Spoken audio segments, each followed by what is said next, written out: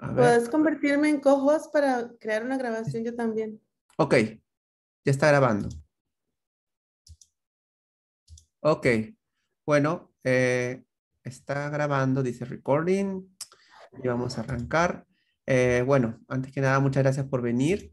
Eh, hoy tengo el gusto de presentar a una amiga muy querida, se llama Roxana Escobar Ñáñez.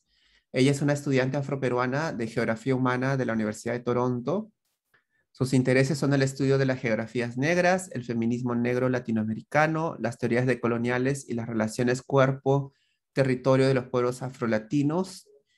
En una nota más personal, yo quisiera felicitar públicamente a, Roxana porque ha defendido excelentemente, exitosamente su eh, propuesta de tesis doctoral el jueves pasado. Y ese, fue en ese contexto que nos conocimos también con Claudia Ruiz, que es su amiga y varios años y en otra nota más personal incluso, pues Roxana y yo nos conocemos de hace muchísimos años, incluso antes de hacer el doctorado, cuando fuimos este, estudiantes de pregrado en humanidades, ¿no? Em, y pues voy a hacer a Roxana co-host de manera que pueda compartir su presentación y arrancamos. ¿Te parece bien? ¿Sí? Listo. Hola, hola con todos. Yo soy Roxana. Gracias por las felicitaciones. Eh, sí, ha sido un, un, trayecto larguísimo, ¿no? Llegar hasta el momento de la defensa de la propuesta de la tesis, eh, que según para mi mamá ya había defendido la tesis y es como, no, recién ha sido la propuesta. Eventualmente llegará la tesis de acá un tiempo. Eh, bueno, yo no tengo una presentación en PowerPoint hoy porque justo quería romper un poco eh, con, con las formas en las que usualmente hago este tipo de, presentaciones de mi trabajo o de trabajos similares, eh, en el sentido de que quizás tenerlo todo en un nivel de conversación ahora mismo no solamente me ayuda a mí eh, a a explorar nuevas formas de crear conocimiento, conocimiento comunitario y conocimientos eh, particularmente desde una raíz afrodescendiente, teniendo en cuenta que desde las lógicas afrodescendientes de América Latina el conocimiento no fue escrito, entonces estuvo presente siempre a través del cuerpo, estuvo presente a través de las actividades cotidianas, estuvo presente a través de las canciones, de la música, de la poesía, del movimiento. Entonces, tratando de de seguir explorando ese tipo de creación del conocimiento. Hoy no les tengo un PPT, eh, pero sí les tengo una presentación que, bueno, está acá. Mis notas sí están acá, entonces les voy a estar volteando de vez en cuando a mi segunda pantalla.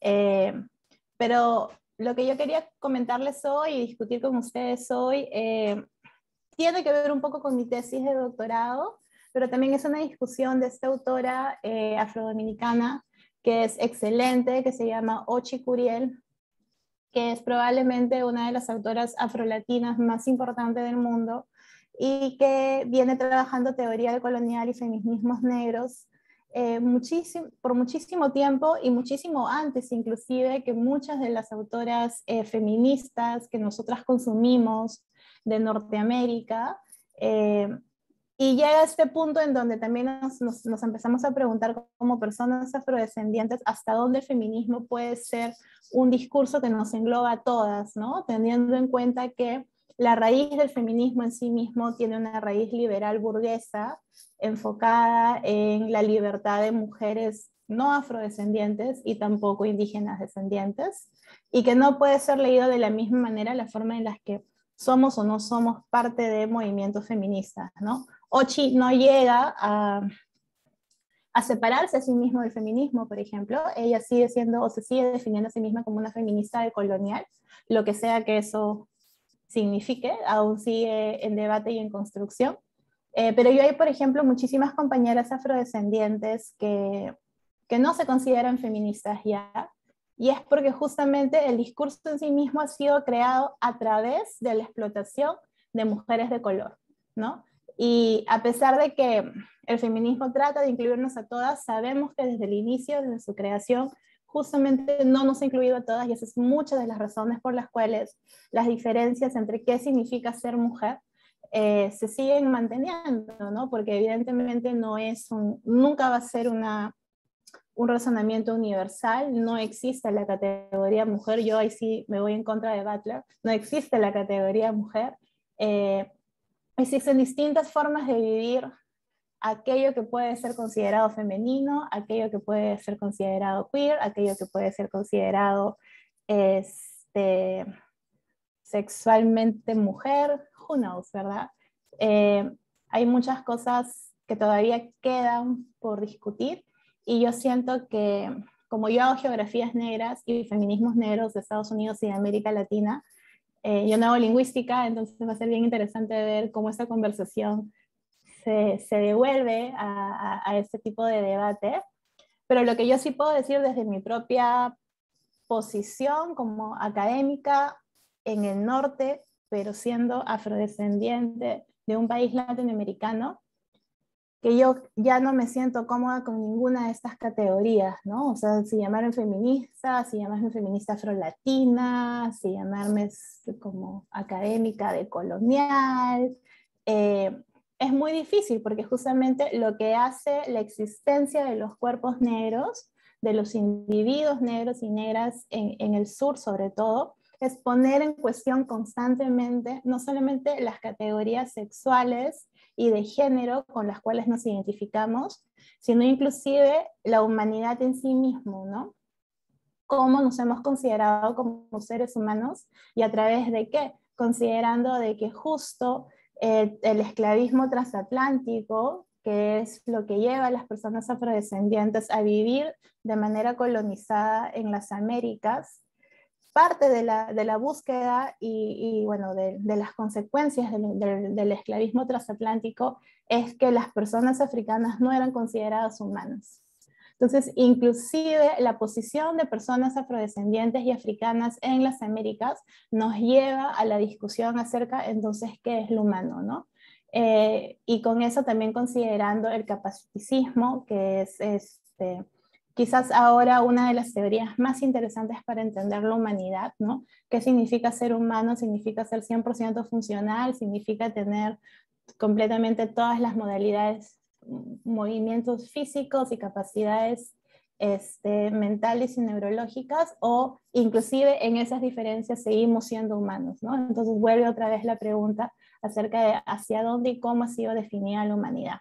Yo siento que eh, el activismo negro, pero sobre todo eh, la Academia Negra de los Estados Unidos desde los 50 en adelante, pero también la Academia Negra en las Américas, más o menos a partir de la misma época, han sido quienes han traído estas conversaciones a la palestra, ¿no? las conversaciones de qué significa ser mujer, qué significa ser humano, qué significa ser, o, o inclusive una de las cosas que trae Ochi aquí es... Eh, qué significa el espacio público y el privado, ¿no? Y creo que siendo una persona que estudia geografía como yo, para mí esa fue quizás la primera de las cosas que más me sorprendió acerca de la literatura sobre mujeres, ¿no? Hay una noción en la literatura sobre mujeres y la literatura feminista en donde se divide el espacio entre privado y público y se dice que los hombres han, eh, pertenecen a lo público y las mujeres a lo privado. Y inmediatamente a eso las mujeres afro afrodescendientes podemos responder, eso no es cierto, ¿no? Porque desde el inicio del proceso colonial, las mujeres afrodescendientes y africanas tenían que trabajar dentro del espacio público y dentro del espacio privado. Entonces, categorizarnos a nosotras en esos dos sitios eh, carece de sentido. Y porque el esclavismo en sí mismo obligaba a que las mujeres negras trabajaran en la calle y trabajaran en la calle de distintas formas, inclusive, ¿no? Trabajaran en la calle no solamente como vendedoras, que es el caso de las pregoneras en el Perú, en Cuba, en la Ciudad de México, en Buenos Aires también, sino que trabajaran en la calle también como este, limpiando las calles, que trabajaran en la calle como músicas, que trabajaran en la calle como trabajadoras sexuales, distintas formas de habitar el espacio público siendo un cuerpo negro feminizado. Eh, entonces, se cae la, cuestión de que las mujeres necesitaban como que llegar al espacio público, que el espacio público es un sitio de hombres, cuando desde el inicio de las ciudades eh, de, América Latina, las mujeres negras siempre han estado fuera del espacio privado, ¿no? E inclusive cuando pensamos en el espacio privado, yo siempre voy a traer la, teoría, la explicación del caso, de mi caso, que son de mujeres afrodescendientes en la ciudad de Lima, de afrolimeñas, cuando pensamos en el espacio privado como si fuese un espacio de containment, ¿no? de opresión, como si fuese un espacio desde el que no se puede salir, las mujeres afrolimeñas una vez más contradicen esa teoría, porque justo en lo privado es donde nacen muchísimas de las cosas que ahora se... Eh, son sumamente importantes para la cultura afrolimeña y para la cultura peruana en general, como por ejemplo la comida. ¿no? La comida peruana de la que todo el mundo, bueno, al menos los peruanos, estamos bien orgullosos. Eh, justo ayer estuve en un restaurante italiano y el mesero italiano me dijo algo así como, ustedes tienen la mejor comida de, de las Américas, porque era muy italiano para poder decir del mundo, entonces era como, de las Américas. y fue muy chévere porque fue como si nos entendemos, nos entendemos. Pero bueno, a lo que iba. En los espacios privados, que evidentemente sí fueron espacios de opresión, o sea, no voy a negar el dolor y no voy a negar el hecho de que las mujeres de, distintas formas de, evitar el concepto mujer han sido personas que han sido oprimidas dentro de lo privado, pero a, vez, a la vez dentro de lo privado también hay muchísima creación y muchísima resistencia. Y yo creo que, por ejemplo, haber creado una cocina como la cocina afroperuana, que luego sale a la calle y que luego se convierte en un staple de la cultura nacional peruana, no es solamente el resultado de la opresión, yo imagino que en ese momento creativo dentro de la cocina hubieron muchas más cosas que solo tristeza y dolor. Quizás también hubieron conversaciones muy bonitas, quizás también hubo intercambios fundamentales para la vida de cada una de esas mujeres. Quizás también hubo la posibilidad de sentir que había un sitio al que pertenecían. Entonces, cuando a veces se dice las mujeres pertenecen solo a la cocina de una forma despectiva, preguntémonos de qué mujeres están hablando, porque para algunas de nosotras la cocina era ese espacio de libertad, de creación, de resistencia y de producción, ¿no? De una producción tal que lamentablemente sido invisibilizada luego con el tiempo, pero que, eh, según bueno, lo que espero hacer con mi tesis, además sostiene una cultura nacional, ¿no? La comida peruana. Entonces, hay muchas formas de entender el espacio y la negritud. Y lo que hace Ochi en este texto es explicarnos justamente cómo recogen las feministas afrolatinas eh, la teoría producida por las feministas afroamericanas y las feministas del Reino Unido, afrodescendientes también. Yo no quiero ir como demasiado en detalle con esa explicación porque imagino que ustedes han leído el texto y luego podemos seguir hablando de eso también.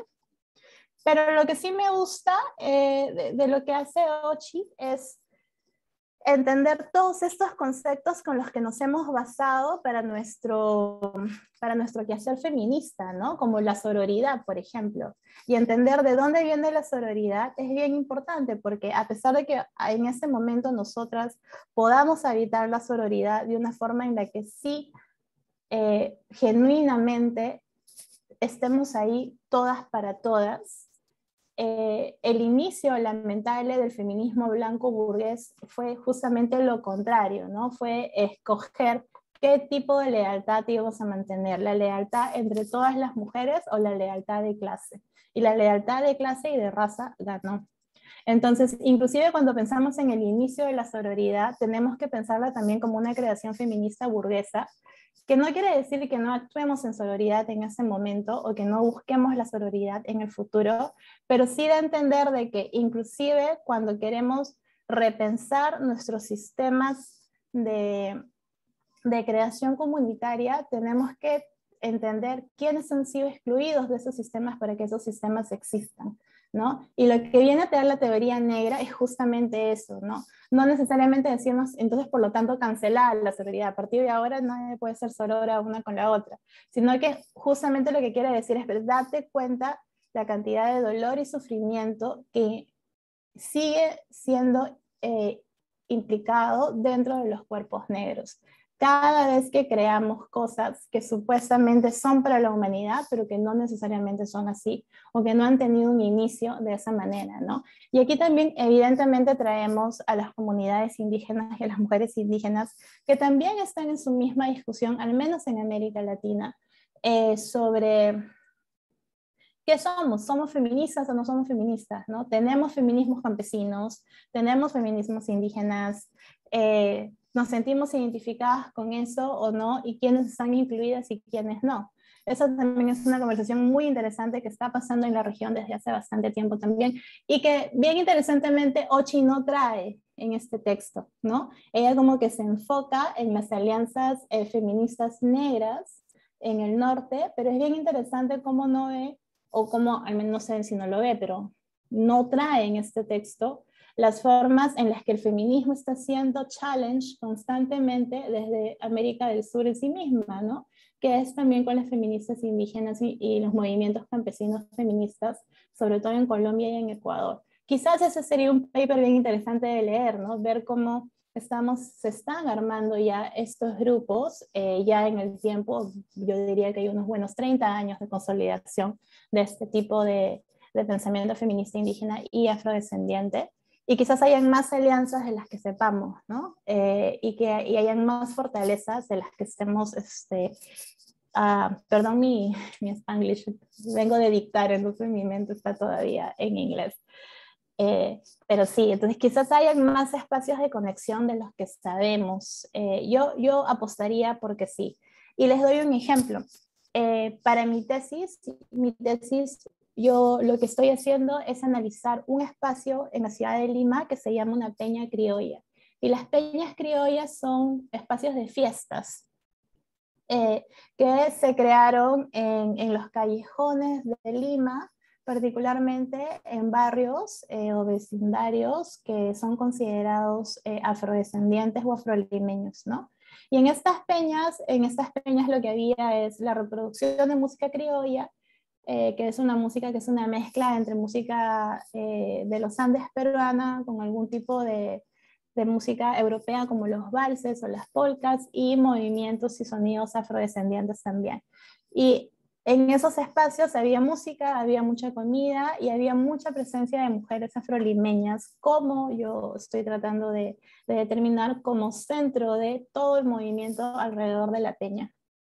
Y para poder entender a la peña, este espacio, que es un espacio negro, tiene raíces negras, está localizado en un vecindario negro, en donde las mujeres negras tienen una, este, son integrales para la construcción del espacio, son las que cocinan, son las que cantan, son las que bailan, son las que abren la casa, son las que limpian la casa después de que todo el mundo se fue es decir, el espacio que ellas habitan y que ellas transitan dentro de la peña es trascendental, ¿no? Si borramos a las mujeres negras de las peñas, probablemente no habría peña. Entonces, para que exista un espacio que necesite la presencia de una mujer afrodescendiente, yo estoy llamando eso un espacio negro en Lima, que a diferencia, por ejemplo, de los Estados Unidos, en donde uno puede encontrar vecindarios negros como el Bronx, por ejemplo, o ciertas partes del sur de Chicago que sabemos que está habitado demográficamente, mayoritariamente por personas afrodescendientes. Quizás en Lima ya no encontremos esos espacios, o sea, un vecindario que digamos ya, ese es un vecindario negro, pero lo que sí hay, lo que yo estoy tratando de probar es que sí hay geografías negras, ¿no? Presentes en las peñas, presentes en esa esquina en donde venden picarones, que son unas donas peruanas de dulce, o donde venden anticuchos, que son como que unos pinchos, ¿no? Este, no sé cómo se llama, no sé cómo más decirles, pero ya, este, que son de corazón de vaca, que de un momento a otro, o sea, la señora anticuchera o la señora picaronera, digamos que salen a las 6 de la tarde a vender todos los días estos bocadillos, y entonces hasta las 5 y 59, esa, esa esquina era una esquina donde las personas transitaban donde los buses pasaban, donde los carros estaban, donde quizás los perros andaban. Pero desde las 6 de la tarde ya no es solo una esquina, porque la señora y su presencia y su trabajo cambian ese espacio y se apoderan de él.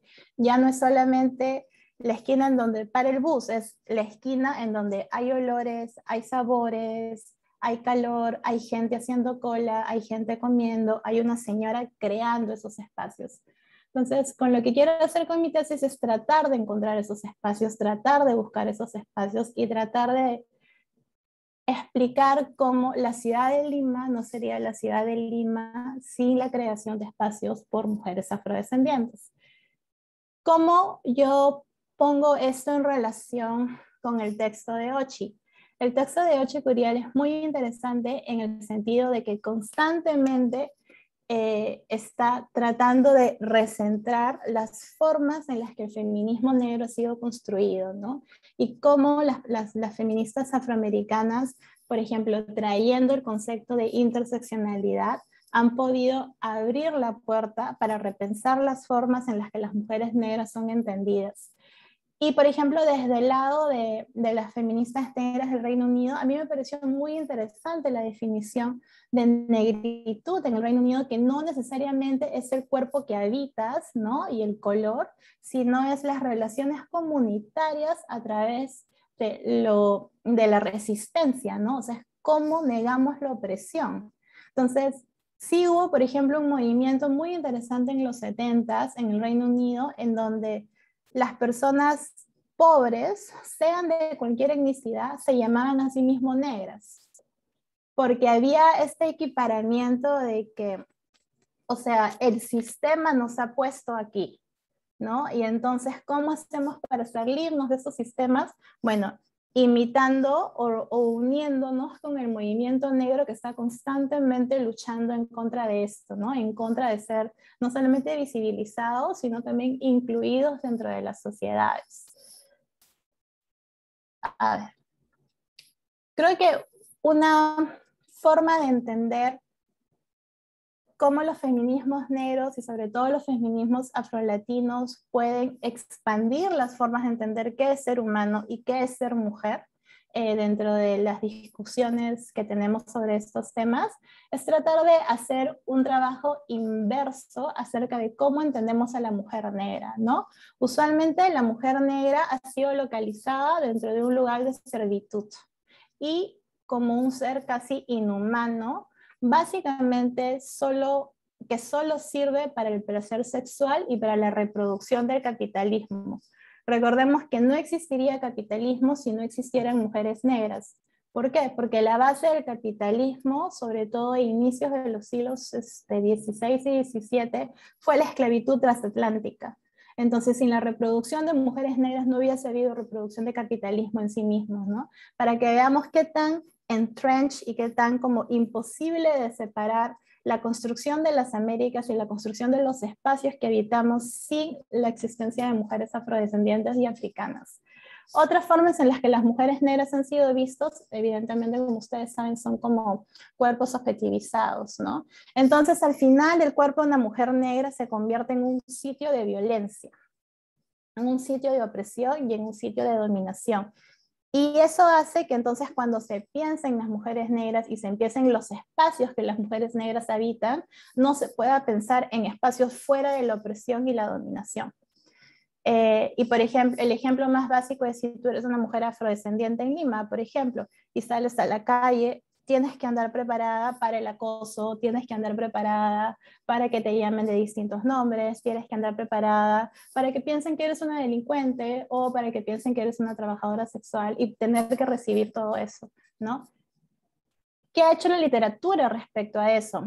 Se ha enfocado en analizar, ¿qué pasó? ¿Por qué? ¿Por qué tanto dolor? ¿Por qué tanta opresión? ¿No? Entonces, la, teoría colonial, la teoría decolonial, de los análisis feministas acerca de los cuerpos negros se han enfocado en eso. Y bueno, la respuesta la sabemos, ¿no? La respuesta es, lamentablemente, que el sistema de colonial ha generado que las mujeres afrodescendientes sean la base de la pirámide de cómo han sido este, definidas las personas humanas.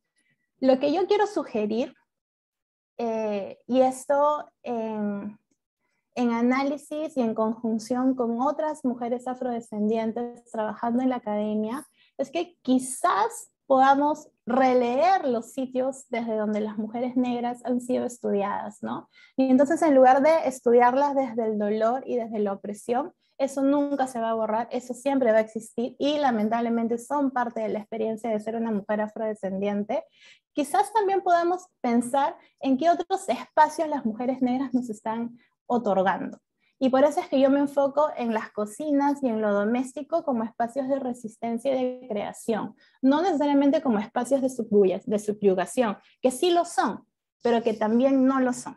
¿No? Y creo que la mujer negra es como que esta localización que nos ayuda a entender esa, esa tensión constante que existe entre la, la opresión y la creación y la resistencia. ¿No? Nunca van a estar separadas, pero lo que yo me niego a hacer es seguir estudiando a mujeres negras desde el dolor.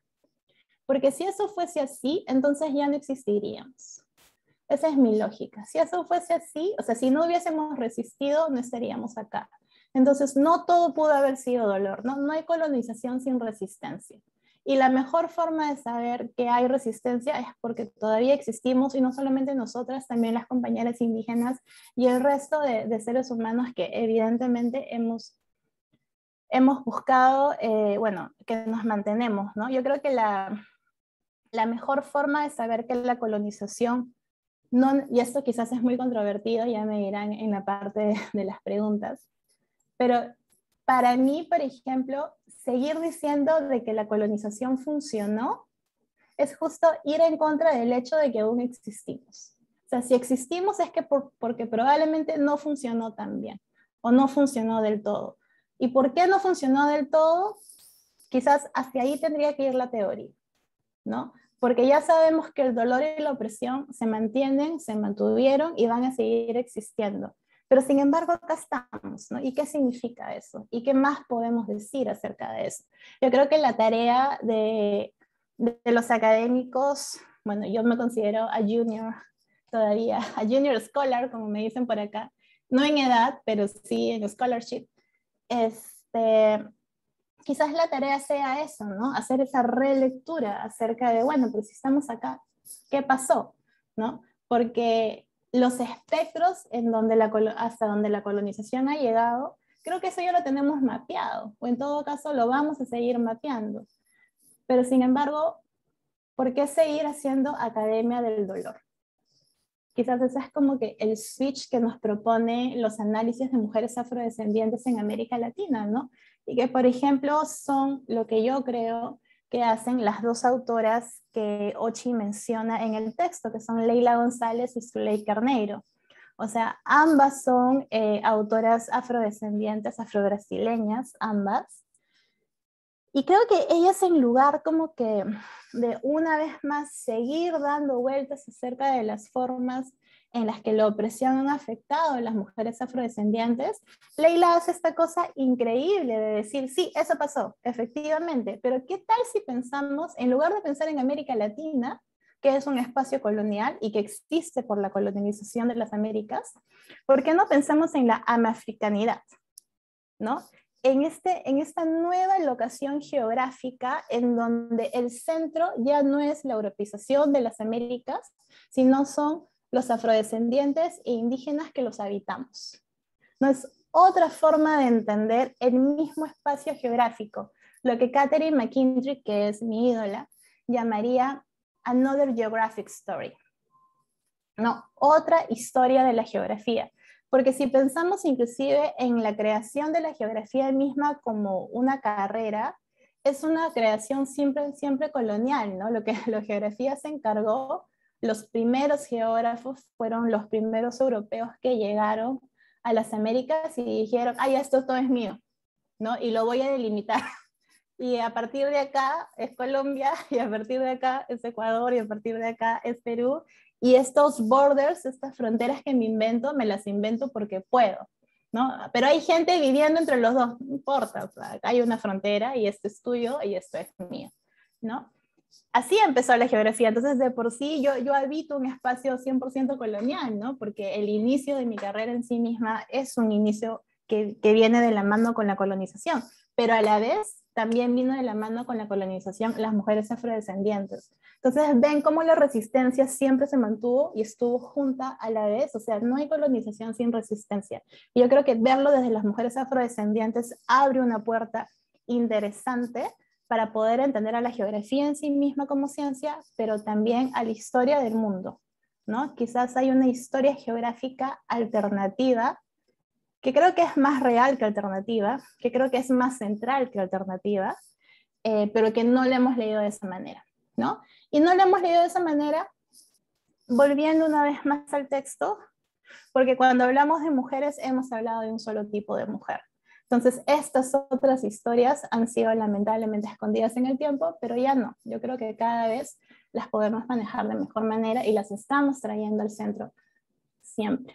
Y bueno, y Sueli Caneiro, que es probablemente una de las uh, teóricas afrobrasileras más importantes, eh, ella también como que en lugar de quedarse en, esta lógica de, ay, sí, miren la opresión y miren cómo las mujeres negras han sido oprimidas, que una vez más es una parte de la historia que no se puede ni se debe de borrar, pero lo que hace Carneiro es decir, sin embargo, cuando ustedes hablan de estas mujeres, o sea, cuando hablan de la categoría mujer y dicen que son el sexo débil, y dicen que son personas que son inclusive menores de edad, ¿no? Se les asume como menores de edad, que no pueden habitar los espacios públicos.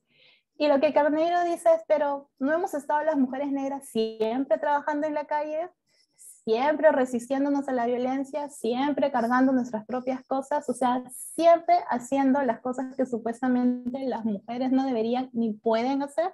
Y no solo eso, sino también creamos teorías ¿no? Y no solo eso, sino también que animamos la fiesta. O sea, no hemos estado acaso nosotras en el centro de las sociedades.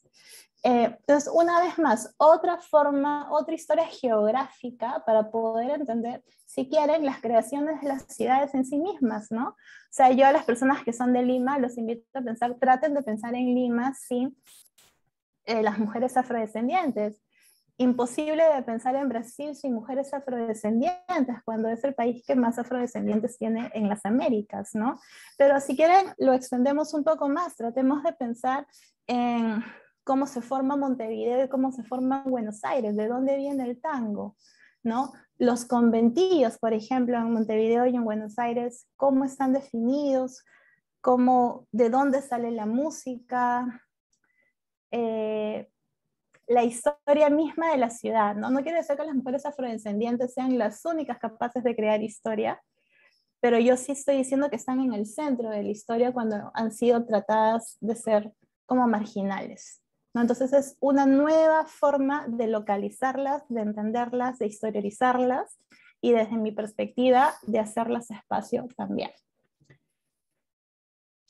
Paso ahora al otro texto rapidísimo, eh, que les mandé, que es el texto de Eshe Lewis, que es una nota chica que ella tiene en Sapiens. Y este texto es bien chévere porque, bueno, Eshe es una mujer afrotorontina, ella es de Trinidad eh, y Tobago, pero, bueno, su familia es de Trinidad y Tobago, pero trinitaria, pero ella vivió aquí en Toronto, yo lo conocí aquí en Toronto. Eh, y, pero se casó con un hombre afroperuano. Entonces, como que empezó a, encontrar cosas muy similares entre lo que le pasaba en Toronto como una mujer negra y lo que le pasaba en Lima como una mujer negra. Y se dio cuenta que, por ejemplo, una de las cosas que siempre sucede con las mujeres negras es que no son consideradas como víctimas, sino siempre como victimarias. ¿no? O sea, que son consideradas como, como son consideradas como personas de carácter fuerte, como peleonas, como gritonas, eh, como alguien que te puede victimizar, pero no que pueden ser víctimas ellas mismas. Entonces lo que hace Eche es tratar de analizar en los centros de atención de la mujer que existen en Lima, pero particularmente en la provincia constitucional del Callao, que son estos centros de emergencia en donde las mujeres víctimas de violencia este, de familiar van a hacer sus denuncias. Y lo que ella encontró es que cada vez que llegaba una mujer afrodescendiente pasaban dos cosas. O no la determinaban afrodescendiente, entonces le marcaban mestiza, a pesar de que la mujer misma se podría identificar como afrodescendiente, o no le creían que había sido victimizada porque era negra. Entonces, una doble invisibilización acerca de cómo se traduce la violencia en mujeres negras, ¿no? O no eres negra y por lo tanto eres violentada, o si eres negra, ¿cómo así te dejaste violentar? ¿Qué genera eso? De que no hayan denuncias, de que la violencia en mujeres afrodescendientes esté muy por debajo representada de lo que tendría que estar representada dentro de las estadísticas nacionales, lo que eventualmente conlleva a que no hayan políticas públicas reflexionando sobre la violencia en mujeres afrodescendientes y a que no hayan lugares de apoyo y de soporte necesarios para ellas, ¿no?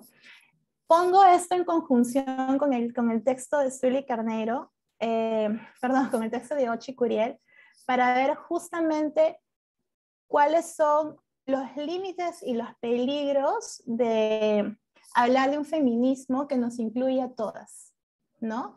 Supuestamente ahora que estamos en el momento del Me Too, de la marea verde, del ni una menos, preguntémonos de nuevo, ¿no? ¿Quiénes son esas menos que nos faltan? Y si estamos todas incluidas ahí, no solamente en el momento de las estadísticas, sino incluso cuando tenemos que determinarnos como mujeres que hemos sido violentadas. Porque al parecer, bueno, no al parecer, échelo prueba, hay mujeres que se asumen como mm, que no pueden ser violentadas, ¿no? que no pueden ser victimizadas, sino que son ellas las victimarias. Entonces, ahí también se cae un poco la lógica acerca de qué significa protegernos entre todas, ¿no? ¿Qué significa protegernos? ¿Qué significa cuidarnos? Si es que vamos a pensar de que siempre hay algunas que son incrementables, ¿no? ¿A dónde nos lleva eso? ¿En dónde nos posiciona eso? Eh, sí, creo que eso es todo por mi lado. Muchas gracias. Muchas gracias. Este, voy a detener la grabación en este momento para empezar las preguntas.